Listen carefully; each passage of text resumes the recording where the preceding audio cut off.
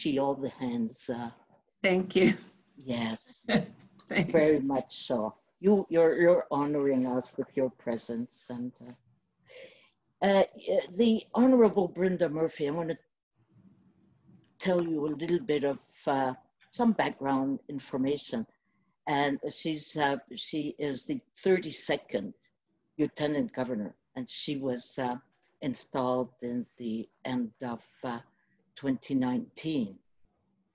She was a former executive director of the St. John Women's Entrepreneurial Network and an organization she led for more than uh, 20 years.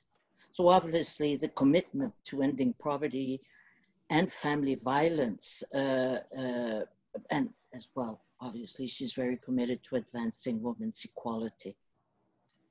Uh, she was nominated as a member of the Gender Equality uh, Network, a Canadian network, and uh, made up of diverse women ladies throughout the country. She was also a member of the National Advisory Council on Poverty and the uh, New Brunswick Advisory Council on the Status of Women.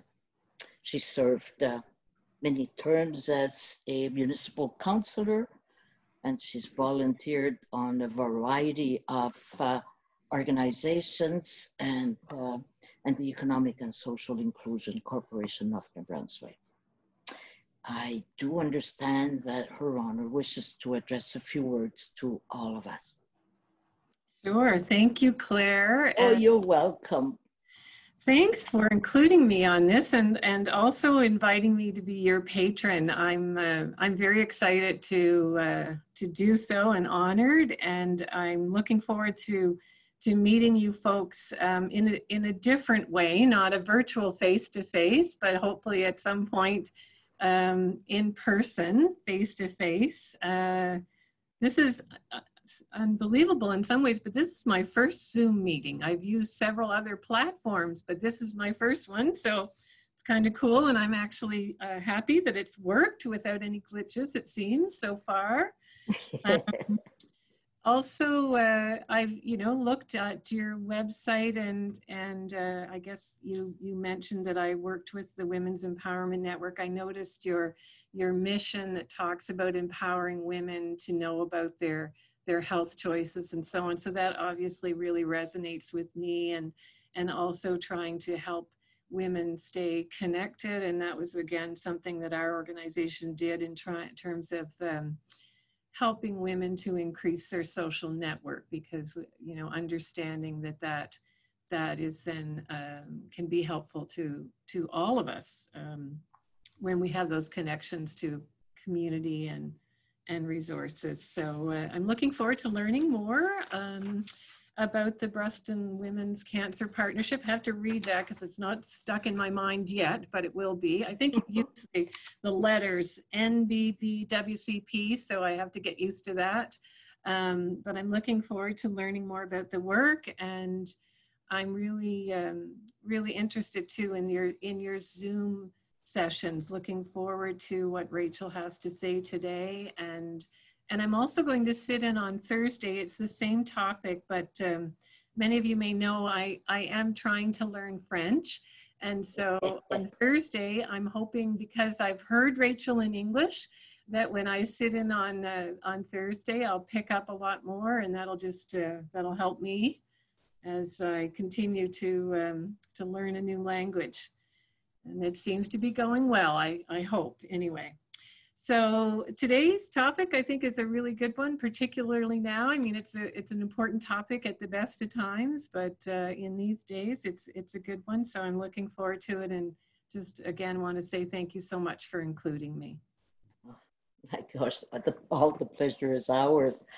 Uh, again, many thanks, and uh, and you and and uh, equally which is very important to us and means a lot to us as well, is your acceptance to serve as the, an honorary uh, patron to our organization. And our organization is made up of a lot of women in New Brunswick because cancer incidence uh, does not, uh, does not, uh, well, we're hoping it will decrease and we're hoping to be able to work around it and to build up that capacity, but a capacity for information and support as well. And we'll be honored to share uh, more insight into what the organization is all about and what it would like to be about. And, uh, and it's all about building supportive lines throughout the province.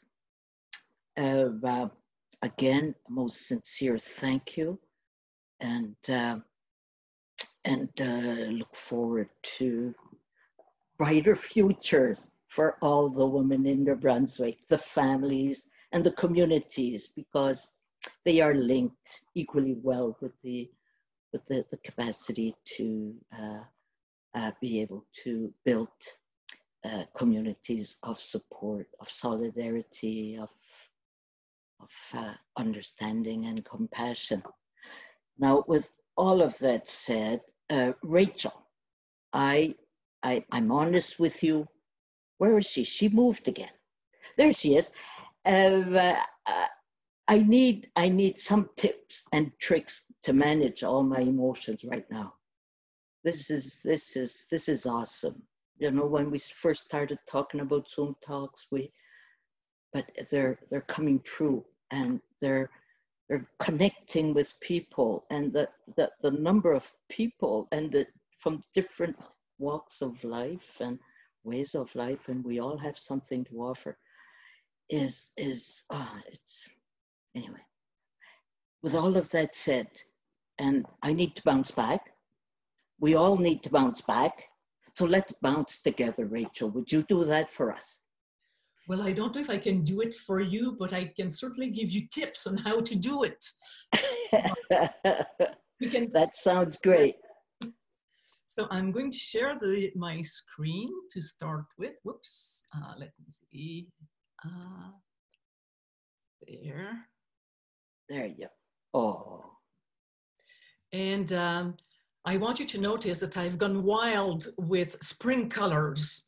I, I did it was snowing in Ottawa this week. I wasn't taking any of it. so, um, before I get into the, um, in fact, the, the, the, topic per se, uh, I want to thank you for inviting me. It's always really a true pleasure to connect with the uh, the organization and it's not my first time with you and uh, i always really really look forward to it i admire what you do um, and again if i can support you in any way i can always feel free to uh, to count to call on me. Uh, you're really a fantastic group.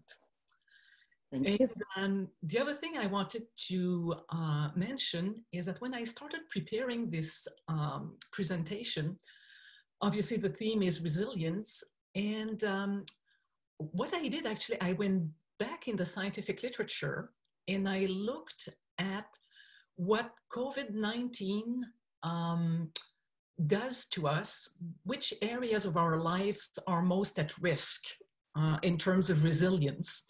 So, what I did is really to sum up um, a lot of the recent literature and um, and boil it down into some tips on how to really um, really maintain our psychological health and uh, bounce back if need be. So the um, whoops. Oh, let me see. I'll try this. That will go better. And so today's goal, in fact, it's really to give us the basics to get rolling again. So uh, maybe we feel a bit uh, deflated, and uh, so we'll kind of um, do what we need to do in order to uh, get back on track. And um, I really like the title because to me it really fits well with the definition of resilience because resilience is all about bouncing back. And it's a definition that most people have heard, but it's not curiously enough, the most common definition. And we're going to take a closer look at some of the definitions out there and what happens if we don't choose the right one. Um, the most common definition that we find in the um, older literature, and it's really what I see now also in the healthcare system. Um, with the COVID crisis, I'm um, working with a lot of um, healthcare organizations to set up peer support programs.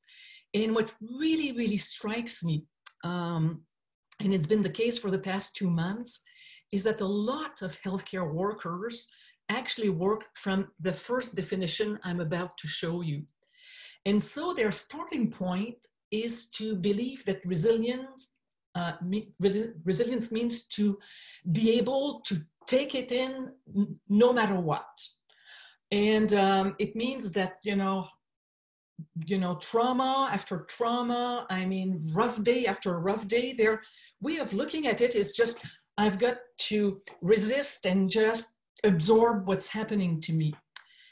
And when they do that, what we see is that um, when they get shaken by events, and just this morning, I was in fact um, accompanying someone on the front lines um, who was overwhelmed with the number of dead in the long-term care facility where she works. And she always believed that she could resist to whatever came her way. And this morning she collapsed. And so she was doubly shaken up. She was shaken because she never expected to collapse. And also, she lost the um, kind of identity she had developed. She so believed that being resilient meant never faltering, that there was a real sense of uh, being lost. And in her in the conversation, I could see that because suddenly she wasn't, you know, the rock of Gibraltar, suddenly she didn't know what to do and how to move forward. And if she doesn't change her definition of resilience, her recovery will be compromised. The people who truly bounce back are the people who understand that resilience is a really dynamic state that entails some destabilizing. The people who bounce back are the people who know that they will have to bounce back, that bounce back is part of the whole equation. So when they get destabilized by some um, some event, some uh, bad news, they look at the whole situation as something perfectly normal and they look at the fact that they feel overwhelmed also as something normal. And so they can stand back much better and they look at the whole situation as something temporary. They say, okay, right now I'm really shaky, but it's a normal reaction given what's happening to me. And I know that it's just something temporary. And so when they approach it like that, they manage, instead of panicking or collapsing, they start thinking, hmm, what kind of resources could I mo mobilize, inner or outer resources, either uh, do something that will really be good to, to myself or seek out some help to just help myself get a bit steadier. And then once they've managed to steady themselves, they manage to bounce back to recover, to be resilient. But what really defined the process at the very beginning is the kind of definition we're going to choose. And it really leads us to um, an important recognition that resilience is not at all about invincibility, but it's about the capacity to bounce back after hardship. And there's a, um, a really interesting resilience paradox. And it's that acknowledge, acknowledging our vulnerability is our greatest strength. And when you stop to think about it, you realize that if you don't know where the chinks in the armor are located, you won't know how to protect yourself. If you know where your vulnerabilities are, then you will know how to shield yourself properly, how to compensate properly. And because you know you're vulnerable, you can be proactive and in the end, protect yourself a whole lot better than someone who claims to be um, invulnerable. So when we study resilience, the best possible starting point is to embrace where we're at without judgment.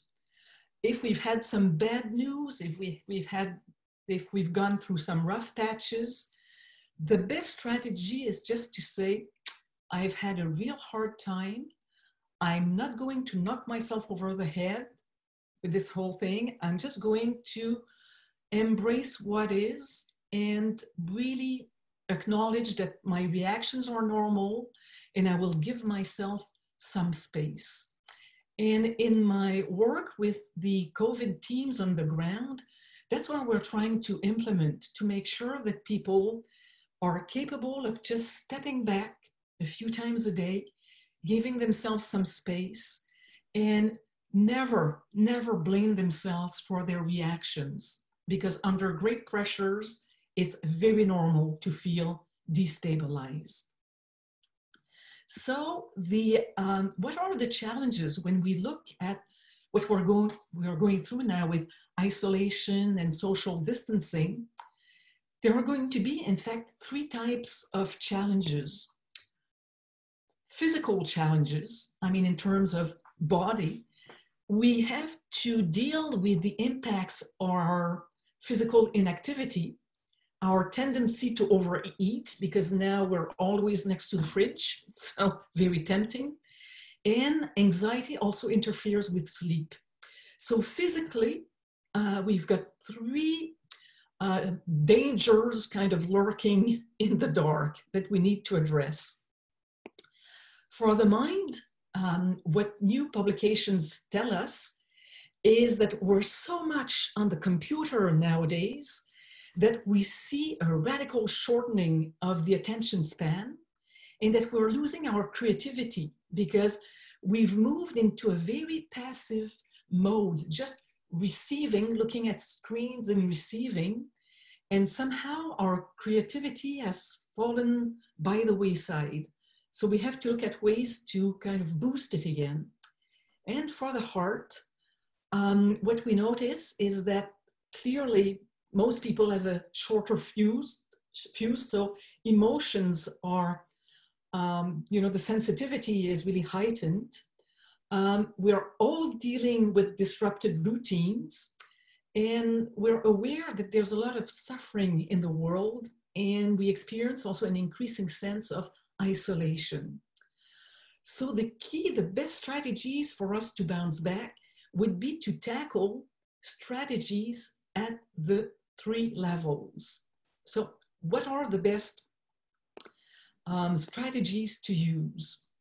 For the body, it's always the same three paths that seem to be the, the best to exercise, to eat well, and to sleep well. And if you have the ch a choice amongst the three, the main thing for resilience is protecting one's sleep. Sleep, in fact, is the main engine in terms of physical and psychological well being because pretty much everything rests on um, the quality and the quantity of our sleep. And we all know that if we don't sleep well, we do have a shorter fuse in the morning we get more impatient, we have more difficulty thinking. But even physically, if we don't sleep well, we disrupt the whole of our hormonal balance, and it has huge impacts on all the body systems. So, the first thing to really protect is sleep, and it means sleeping about eight hours per day.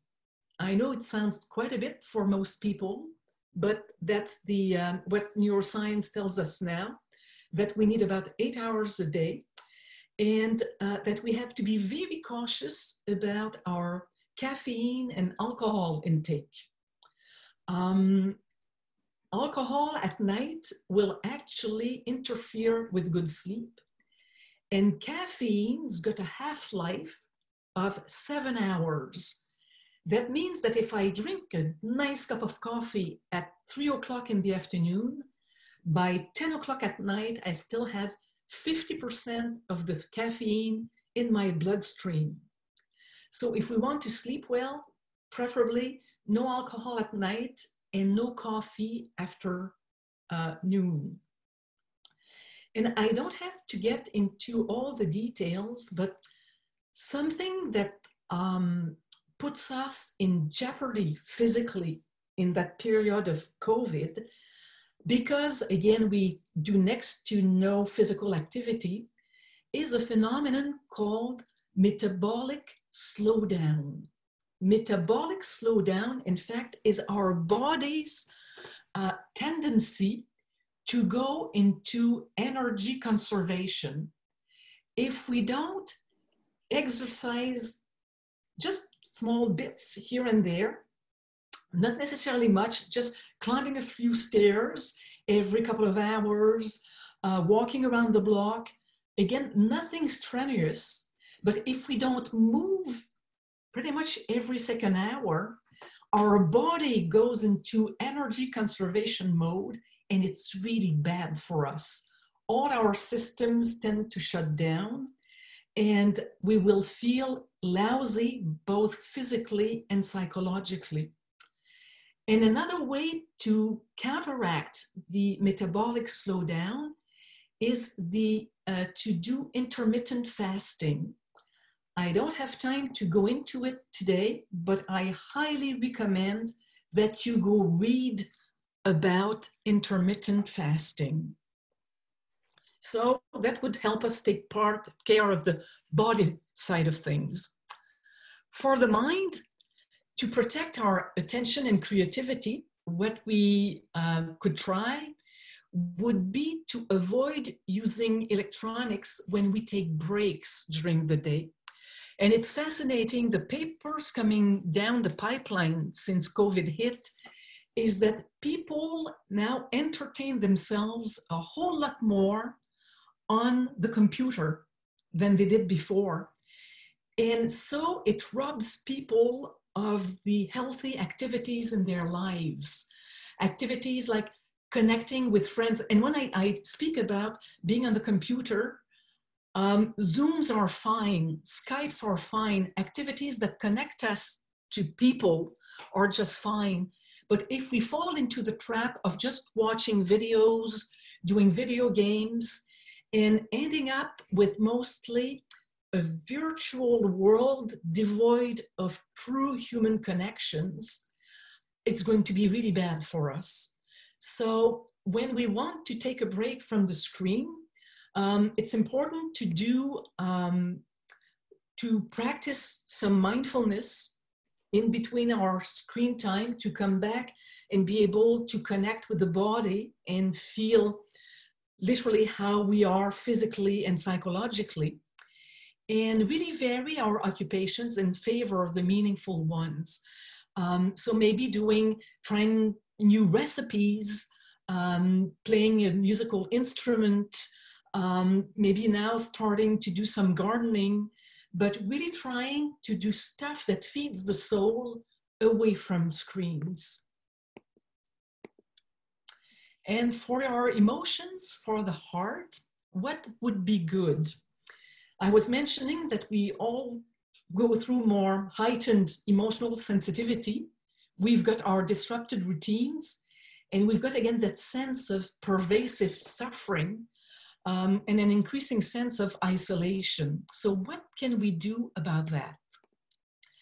So, with the heightened emotions, what we tend to do, and again, it's normal, it's just human nature, when we feel something unpleasant, our normal reaction is avoidance. I don't like this, so I'm going to stick my head in the sand. And it's a perfectly normal reaction, but it doesn't help us to uh, really regulate emotions. If we ignore them, um, we're, it, we're really going to do a disservice to ourselves in the long term. And so we really need to acknowledge that emotions are a little bit like sensations. Let's say it's really, really cold and I start shivering. Um, sometimes people would say, well, shivering is really bad. In fact, no.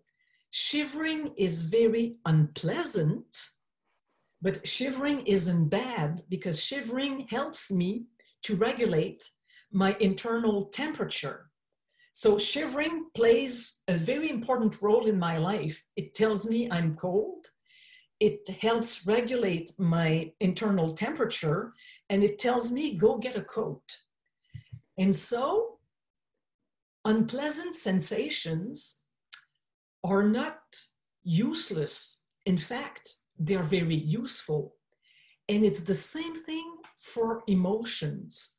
Unpleasant emotions are that unpleasant, but they are very useful because they carry a message I need to hear.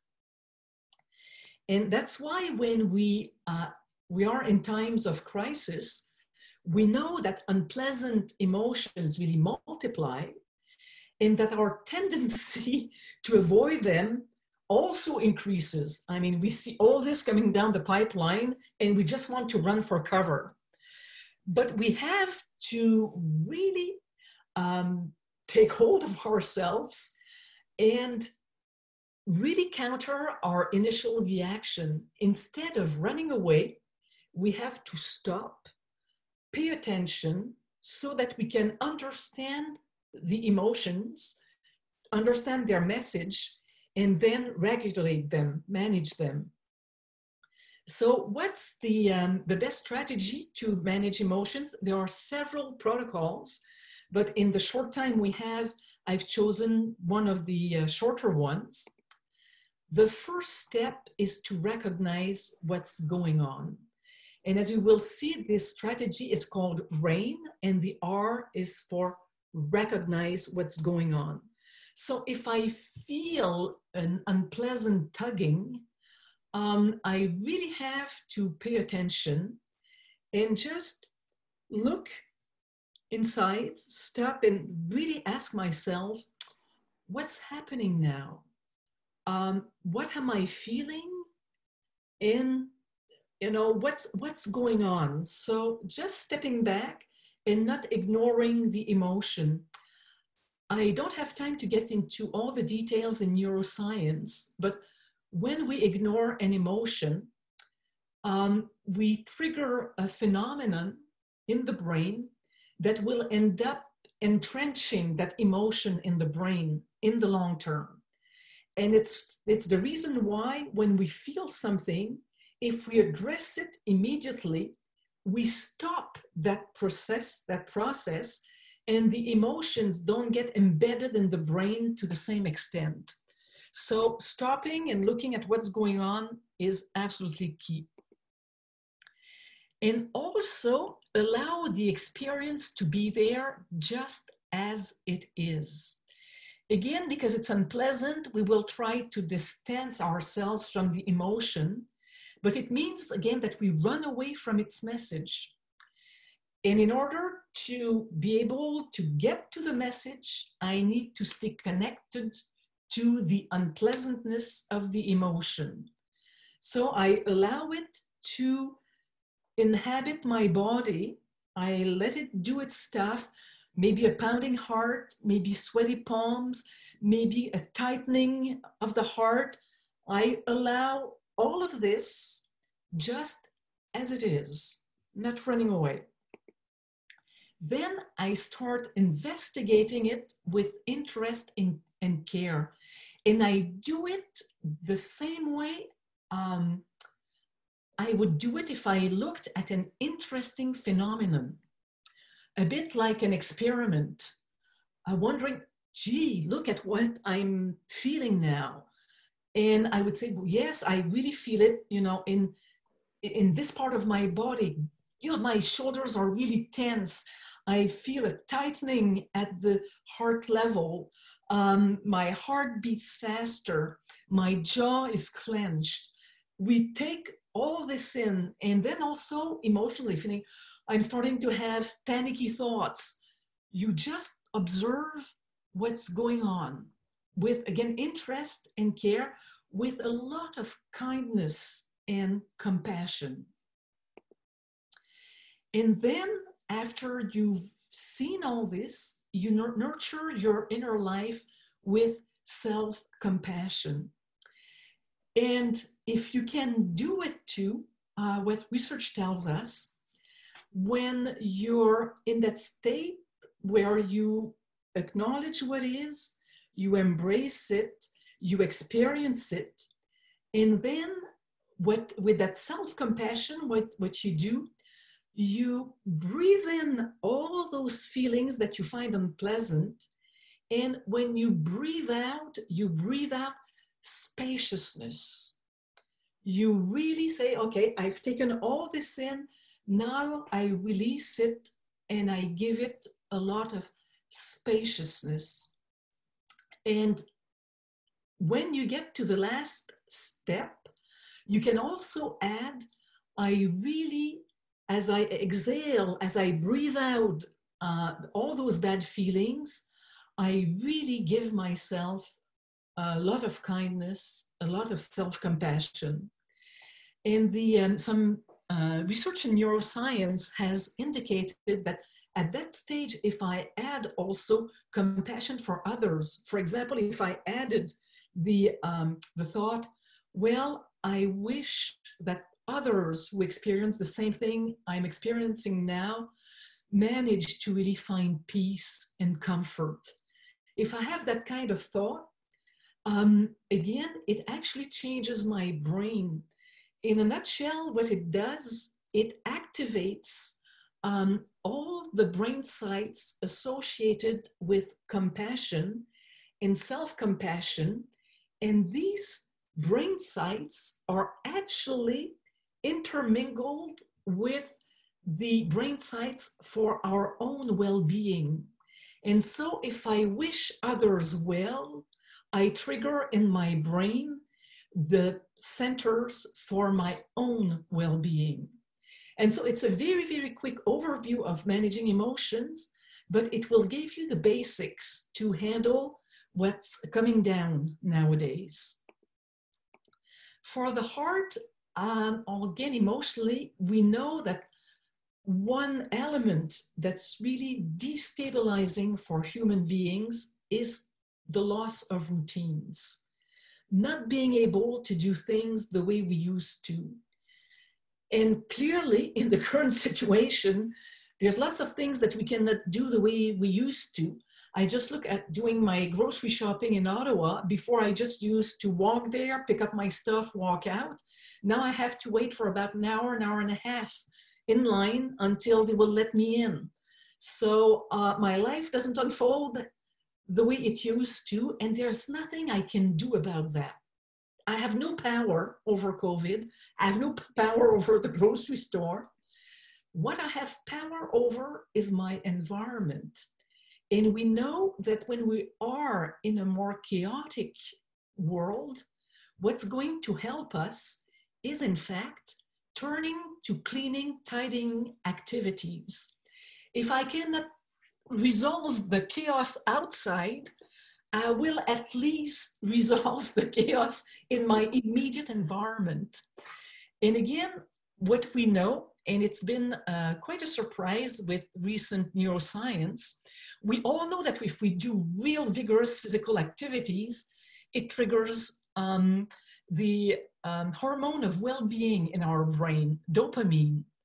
What we've learned is that when we put order, when we clean, when we tidy up, we also produce dopamine and it really makes us feel a whole lot more at peace.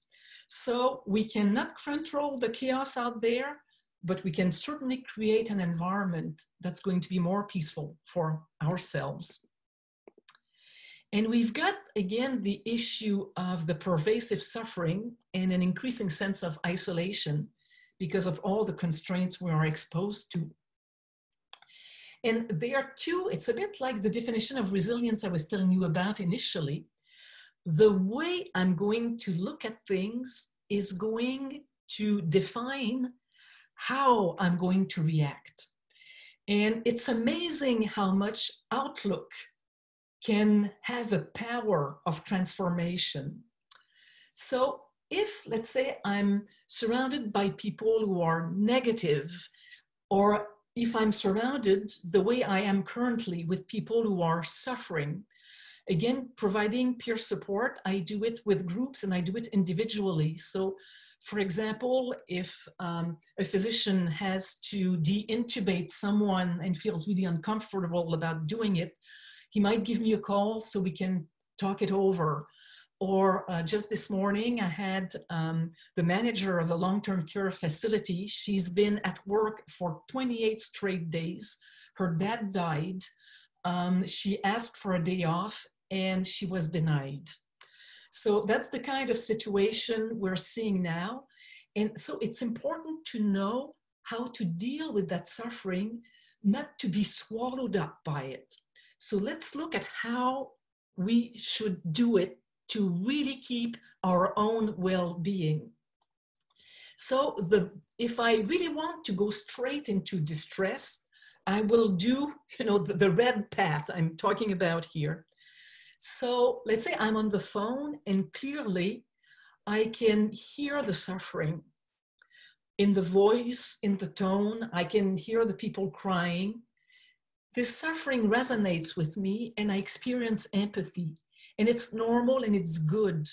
And at that stage, what I experience and what we all experience is the thought that, well, I can understand what that person is going through because I have suffered and it brings back to me the echoes of my own suffering. And so I can have this surge of um, understanding. I can resonate with the person who's in the difficult situation. At the third step, our spontaneous reaction will be how can I alleviate the suffering I'm now exposed to through that person I, how can I eradicate it? And I feel responsible for that person's suffering. I literally move it onto my shoulders. I just want to resolve it. So what happens is that I have observed suffering, heard it, I have resonated with suffering. Now I want to resolve suffering. And it makes it so that my whole mental space is filled with suffering. My whole mental psychological horizon is just suffering. And when we fall into that state, what it does, it activates in my brain two areas. I mean, it's called the insula and the cingulate cortex. These two areas are the areas of that uh, are responsible for my suffering. So I end up triggering in my own brain the areas responsible for suffering, and I ache. I physically ache for that person, and I fall in, into something called empathic distress, and it will lead to my own collapse. So, not good. So, what would be a better way to be able to be there for people, but without putting ourselves at risk? So, let's look at it it starts just like the other path. So the person calls, I can observe the suffering, and I will experience empathy. I fully feel the empathy with the, the person, but it's at the third step uh, that I totally change strategy. Instead of telling myself, I have to alleviate that suffering. It's horrible. I have to alleviate the suffering. I switch gears. And what I'm telling myself is what kind of comfort or well being can I offer here and now? So I'm no longer focused on the person suffering. I'm now totally focused on the kind of um, comfort, well being I can give. And so my mental space suddenly is no longer filled with suffering, overwhelmed with suffering, it's suddenly filled with compassion and the um, with a sense of deep gratification i really want to give to that person and what it does it activates in my brain very specific centers associated again with deep gratification. And in turn, it makes me experience some quiet inner strength. There's really a sense of peace that settles, and I feel useful. I feel genuinely connected to others, and I'm going to be resilient. And so the key difference, as you can see, and by the way, I will send you all these slides if you want to, uh, to um, have them afterwards. So the key issue is once I've resonated with the suffering, not to really kind of be absorbed by it, but just step back and say, what can I do? What kind of kindness can I offer? And it sounds, sounds like something totally banal, but it really changes the whole brain response. And what research has really uh, taught us, and again, it's brand new research. Um, it's um, it's been published in the past year or so, and I've got it here. I mean, the neuroscience of empathy, compassion, and self-compassion, and a lot of uh, different uh, books on neuroscience. And what they they teach us is that the strongest posture we can adopt psychologically as human beings is the posture of compassion and self compassion. And the image I've put there is a roly poly. And um, a roly poly is one of those dolls, you know, you can just smack them on the head. They will go bang on the floor and they will oscillate quite a bit, but they will always come back to their center. No matter how, how hard you smack the thing, it will oscillate and come back to its center. And it comes back to its center because at the very bottom, right here, there's lead. So there's really, it's weighed down and it makes it so that the center of gravity um, always come back always comes back to where it, it should. And the analogy I want to, um, to bring is that in humans, what really brings us back to our psychological center of gravity is compassion, the lead that allows us to, you know, bounce back and despite all the oscillating to come back to our posture of strength is compassion. And um, there's a whole lot of research being done on compassion. I don't have time to cover it today, but it's very clear that when we're in distress, if we can really move into a space of first self compassion and then compassion to others, that's what's going to bring us back to a sense of well being and I'm coming back to the manager I was telling you uh, about earlier, who's been working for 28 days, no rest whatsoever, 16 hours a day. I asked her, I said, you know, can you name something that's really helped you to, um, to be resilient, to still be there? And you know what she told me? She said, um, on Sunday, because it was Mother's Day, she went out and bought roses for um, the mothers on her staff, the mothers who couldn't be at home. And she said that, excuse me, when she actually distributed the roses, this was the event that helped her regain her balance. She really put herself in that posture of compassion and managed to bounce back. And so the central question is always what kind of comfort, of well being can I offer? And if we do that, suffering and distress no longer drag us down. We feel genuinely connected to others, and our sense of isolation will fade away. We know also that in times of crisis, um, we all experience a sense of helplessness. And acting, taking action, is a powerful antidote to anxiety. And again, in a situation where we cannot, you know, change the system, we cannot change COVID, the question will be, what is it I can change? What can I act upon? And so what I wanted to suggest to you is a strategy called called micro resolutions.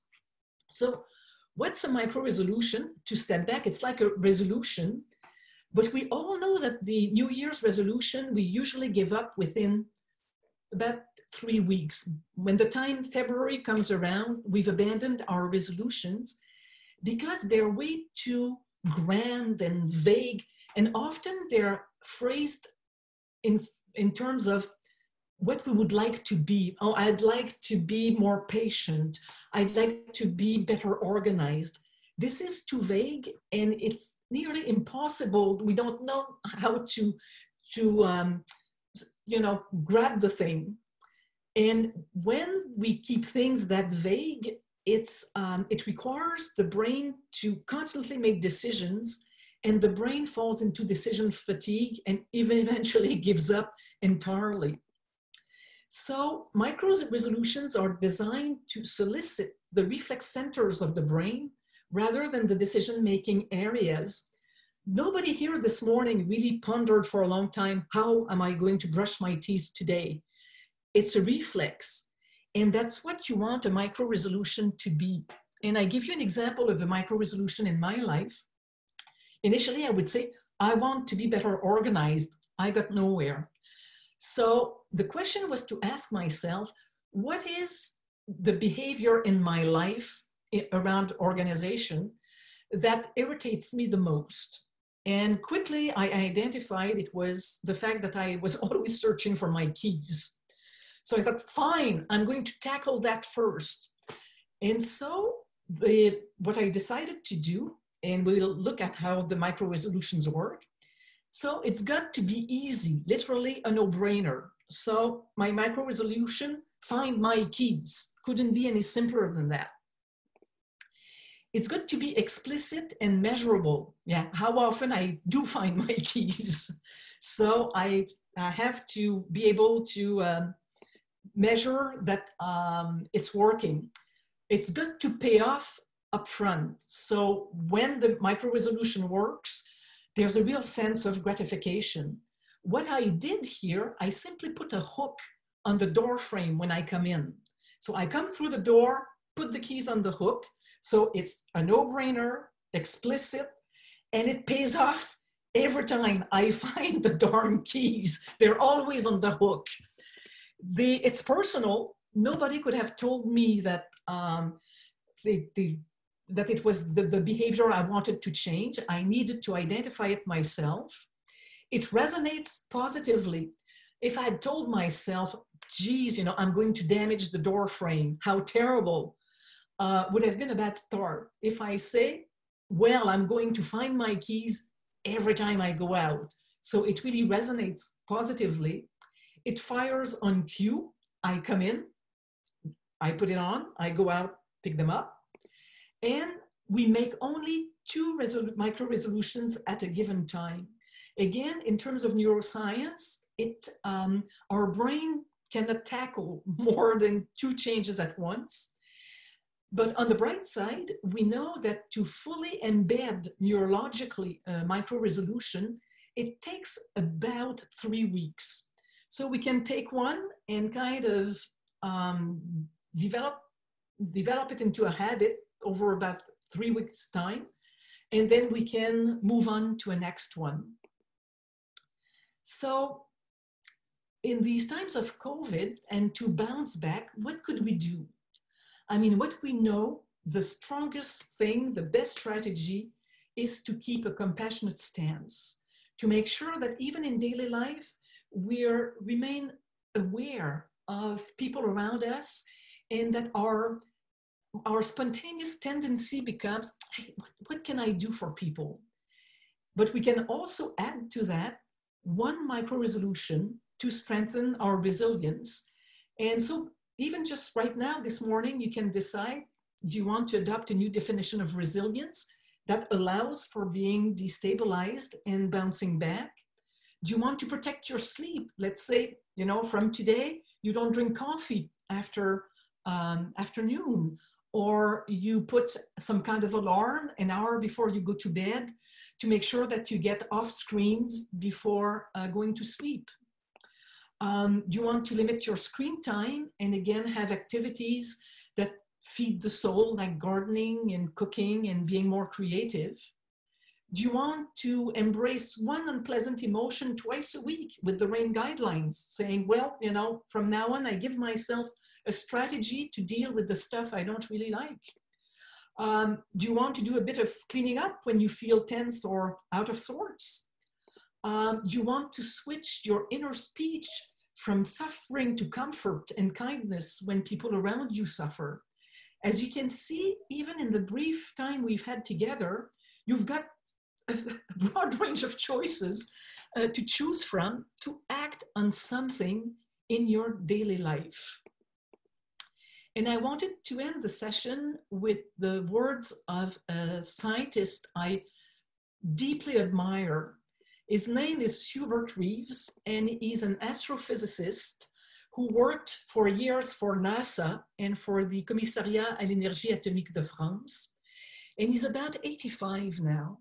And he's grown not only into a world renowned uh, scientist, but also uh, into a man of great wisdom. And um, in his latest book, he uh, offers a reflection on the qualities that have best contributed to our species' resilience. And he tells us, he says, the long path towards becoming human was lit by three bright lights the desire to understand the world, science, the desire to make it more beautiful, art, and the desire to help sentient beings to live.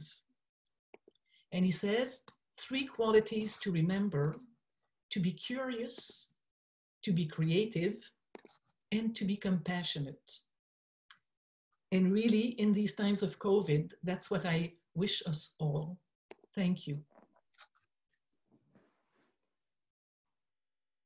And so now I think we do have time for comments and questions. Yes.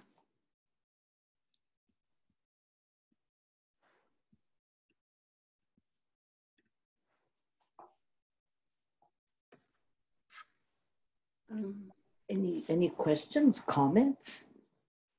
Yes, Natalie. So you were talking about, um, amongst other things, rest, exercise, and diet.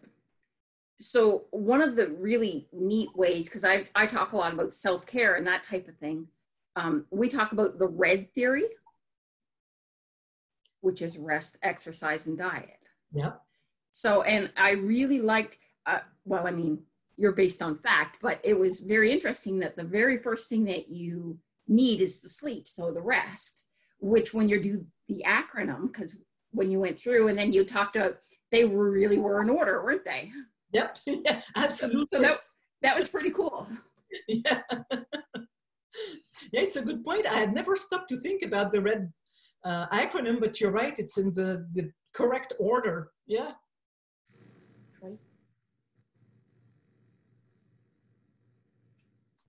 Any comments, questions?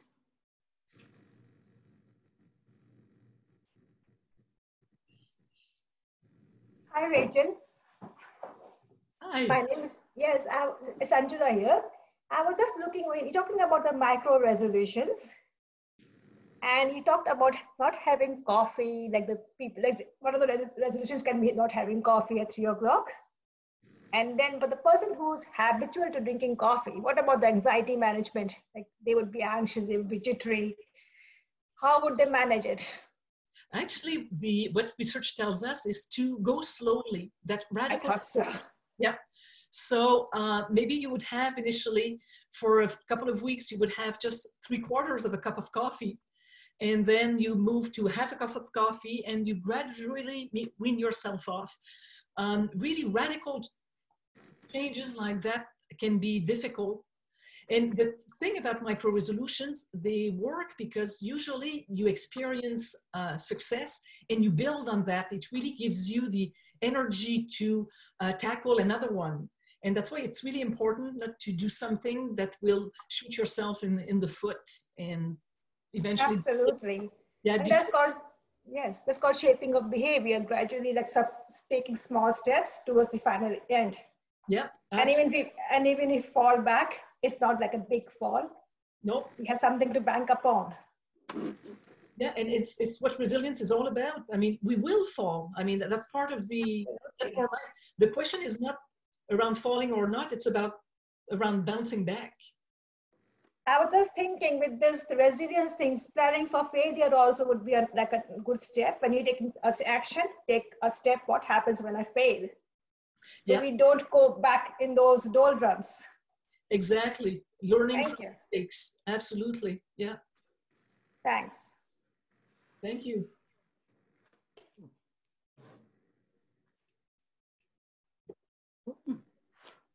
Well, uh, oh, that was most pleasant, Rachel. Thank you. Uh, um, thank you again for being with us. Uh, we've been, it's been a while since we have made several plans to get you back to New Brunswick, but uh, we managed to do it and you stayed home in Ottawa, which is just, just perfect. Thank you very much. You, you bring, uh, you bring uh, wings of uh, hope, courage, and well, compassion, if we could say it as well, which we always enjoy when you're uh, when you're with us.